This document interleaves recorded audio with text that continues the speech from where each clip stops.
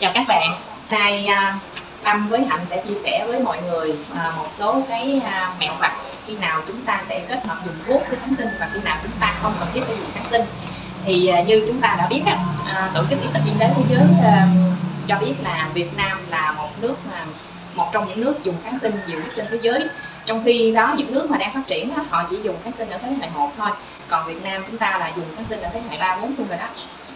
tại sao lại có trường hợp mà nhiều tình trạng mà Việt Nam chúng ta dùng kháng sinh nhiều à, nhiều như vậy ạ? Thì chúng ta sẽ liên hệ một số thực tế như là chúng ta sẽ lấy ví dụ ra là những trường hợp nào chúng ta nên dùng kháng sinh và những trường hợp nào chúng ta không nên dùng kháng sinh. Như cảnh một ví dụ nhỏ cho mọi người dễ liên tưởng là có thể như là buổi tối hôm trước mọi người trước khi đi ngủ, mọi người ăn uống mà ăn đồ nóng này, xong rồi ăn đồ cay nóng, đồ ngọt này,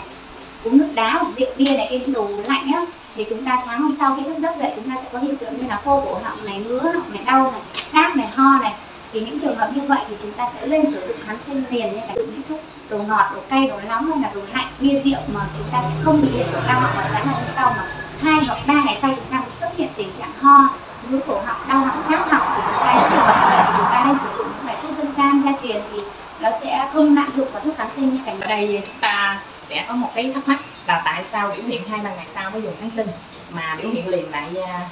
à à, à, tâm xin lỗi biểu hiện liền đó thì lại à, dùng kháng sinh. Còn biểu hiện sau hai ba ngày á, thì sẽ không dùng kháng sinh. Thì à, tâm xin à, giải thích rõ hơn ở, ở vấn đề này. Như là nếu mà chúng ta sau khi dùng những cái thức ăn uống mà có mang mang tính chất hàn lạnh hay là nhiệt quá làm viêm họng ho này kia đó mà biểu hiện liền á là lúc này là ta bị liên cầu khuẩn nó gây ra thì ta sẽ dùng cái kháng sinh. Còn cái thời điểm mà hai ba ngày sau chúng ta mới biểu hiện được cái bệnh thì lúc đó là cái bệnh của mình là không phải liên cầu khuẩn nữa mà là do virus gây ra thì lúc này chúng ta sẽ phải dùng bài thuốc dân gian. Đúng vậy khi chúng ta sử dụng kháng sinh mà à, không đúng lúc thì sẽ dẫn đến tình trạng bị lờn thuốc ý dùng kháng sinh và dùng đơn thuốc của người khác đi mua mua thuốc về dùng cho bản thân mình thì sẽ lúc đó thì bệnh sẽ không thể nào khỏi được và sẽ dẫn đến tình trạng lờn thuốc và chúng ta sẽ bị kháng kháng sinh như cả nhà thì cái lúc mà điều trị sẽ rất mất thời gian và tốn rất chi là nhiều chi phí. À, bây giờ à, tâm sẽ chia sẻ một vài cái um, bài thuốc mà trị uh, viêm họng đi ha. Thì cái bệnh này nó rất là gần như hàng ngày luôn đối với chúng ta vậy đó. Bây giờ ông bà ta hay dùng cái bài thuốc dân gian đó là thuốc sinh lý đó. À, mình mua có ở ngoài tiệm thuốc tây cũng được hay là tự mình pha với cái liều lượng thật là loãng luôn hơi mặn mặn thôi. Mình dùng để khò họng sáng một tối ngày hai lần. Còn à, chúng ta có thể dùng uh, tỏi chúng ta cầm rượu rửa sạch xong rồi sắc nát phẩm ngâm rượu cho ngập hết phần uh, tỏi luôn. Thì uh, lúc đó cái à, mình bào ra thì tỏi sẽ mình ngâm thấm với rượu á, nó nó mau hơn để dùng. Thì à, cỡ từ 10 đến 15 ngày là bắt đầu à, tỏi nó ra hết những cái enzyme, cái hoạt chất ở trong đó là lúc đó là mình dùng để trị viêm họng rất là hay luôn. Còn một bài thuốc dân gian nữa đó là bài thuốc dân gian chị Tâm vừa chia sẻ. Và còn là hai bài thuốc dân gian này muốn chia sẻ cho mọi người đó là chúng ta có thể là dùng cây hướng chanh hoặc là hay còn gọi là cây rau tần. Chúng ta lấy hai ba đọt của cây rau tần, chúng ta đi rửa với nước muối pha loãng rửa sạch đi để ráo, sau đó thêm à, một hai hột muối vô chúng ta giã nhuyễn ra, sau đó vắt lấy nước cốt chúng ta uống cũng có thể trị ho còn trường hợp mà mọi người bị ho và có đờm thì chúng ta sẽ dùng cây rau diếp cá.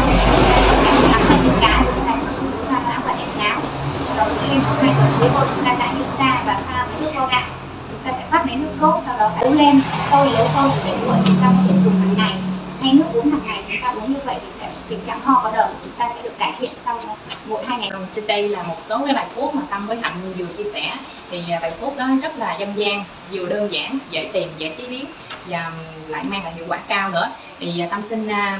à, mở rộng thêm một xíu thông tin ha. À, như à, chúng ta chưa có à, chưa có bị bệnh này hoặc là trong cái giai đoạn chúng ta bị bệnh á để à, nâng sức đề kháng phòng ngừa bệnh hay là nâng sức đề kháng chống lại bệnh tật sớm đẩy lùi bệnh tật á thì chúng ta cần phải à,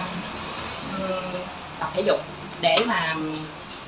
à, lưu thông được à, máu huyết sẽ giúp cho à, cơ thể à, sớm thắng được. Bệnh tật như vậy à, chị à, đưa ra là mình có thể thể dục hàng ngày. Vậy theo chị tâm những công việc hàng ngày như là những người dân lao động hàng ngày ở nhà này hoặc là những người đi làm công ty này hoặc là nhân viên văn phòng này vậy theo chị như vậy thì họ có phải là họ cũng đang thể dục hàng ngày hay không chị? Đúng rồi em. Thì theo như chị nghĩ đó vẫn là bài tập thể dục đó. Bởi vì mình có vận động nè mình có hít thở nè mình có ra mồ hôi nè. Nhưng nó nằm ở cái mức độ là trung bình thôi chứ nó chưa có đủ mức độ mạnh để mà giúp chúng ta à, trao trao đổi cái nguồn không khí từ bên ngoài vào trong phổi để đẩy đi cái à, khí trong cơ thể mình ra đó thì nó sẽ trao đổi khí huyết trong cơ thể được. Thì mình cần phải có bài tập như là à, khí công kết hợp yoga hay thiền nữa vậy à, vậy theo chị Tâm thì à, chị có bài thể dục nào hay là có một bài tập luyện gì đó mà giúp cho chị à, tăng cường sức khỏe này? Có thể cho chị trao đổi chị chia sẻ cho mọi người cùng tham khảo được không? À, thì đây là chị chia sẻ theo cái um, à, cảm nhận của chị thì chị thấy là nó rất là hiệu quả. Thì um, thường chị hay áp dụng hai bài này trong ngày. Đó là bài ngồi thiền. Thì một ngày chị ngồi cỡ khoảng 20 phút đến 30 phút à, để nó giúp cho mình à, tập thở á, tập luyện hơi thở còn bài thứ hai là bài quán nhịp thì à, cái bài này á, nó có những cái động tác mà cúi gập người rồi đứng thẳng người. Thì như vậy nó giúp cho cái à, việc việc đạo trên lòng bàn tay của mình à, với lại những cái à, khi mà nó co thắt trong cơ thể mình những cái động tác theo cái bài tập á, thì sẽ con máu huyết nó lưu thông à, tốt xuống cái vùng quay đấy thì sẽ hạn chế được những cái bệnh làm à, bây giờ người ta gọi là cái bệnh nghề nghiệp á, là hội chứng vai gáy. À, hoặc là ví dụ như chân này kia là do mình thiếu khí huyết xuống xuống cái vùng chân xuống hai chi dưới thì bài tập này nó cải thiện rất là hiệu quả luôn đấy. Thì trong uh, khoảng thời gian theo dõi chị tập luyện bài tập bốn nhịp ấy, thì em thấy chị uh, lại hát to. Thì uh, chị có thể chia sẻ cho mọi người biết là lý do vì sao lại chị vừa tập như vậy mà chị lại vừa hát to như vậy là để mang lại hiệu quả cao hơn hay là như thế nào? Chị có thể chia sẻ cho mọi người biết được không ạ? À, cái bài này thì bắt buộc là mình tập phải hát thì à, mục đích của cái à, lúc mà mình hát là nó giúp cho mình mở hết cái phổi mình ra. À, rồi khi mà co thì cũng co hết lại. Thì nó mới là trao đổi được hết cái à, cái lưu lượng không khí ở trong cái cái CO2 với cái C cái oxy trong trong cơ thể thì sẽ giúp cho phổi khỏe mạnh hơn. Đồng thời giúp cho cái tim cũng đập khỏe hơn và người sẽ ờ, các cái bộ phận là ngũ phụ lục tạng trong cơ thể của mình nó cũng khỏe hơn. Nó thông khí hết khi mình hát như vậy nó cải thiện rất là rõ luôn đây. Dạ vâng vâng vậy qua chia sẻ của chị Tâm thì em cảm ơn chị về lại chia sẻ của chị vừa qua. Vậy ờ, với ờ, những cái thông tin mà hạnh và chị tâm vừa mới chia sẻ đấy thì hy vọng rằng là sẽ góp một phần nhỏ để cho giúp mọi người nhận biết được những trong những trường hợp nào thì chúng ta nên dùng kháng sinh và những trường hợp nào chúng ta không nên dùng kháng sinh. Và có những một số bài tập đơn giản để chị em chúng ta có thể tham khảo để tập luyện ở nhà để có thể là tăng cường sức khỏe, để sức đề kháng của mình trong ờ, mùa dịch bệnh này. Và chúng ta bớt đi lạm dụng kháng sinh trong hàng ngày của chúng ta thì à, sẽ nâng cao sức khỏe của ừ, à, tất cả chị em chúng ta Xin à, chúc các bạn một ngày mới thật là an vui và hạnh phúc. Xin chào. Xin chào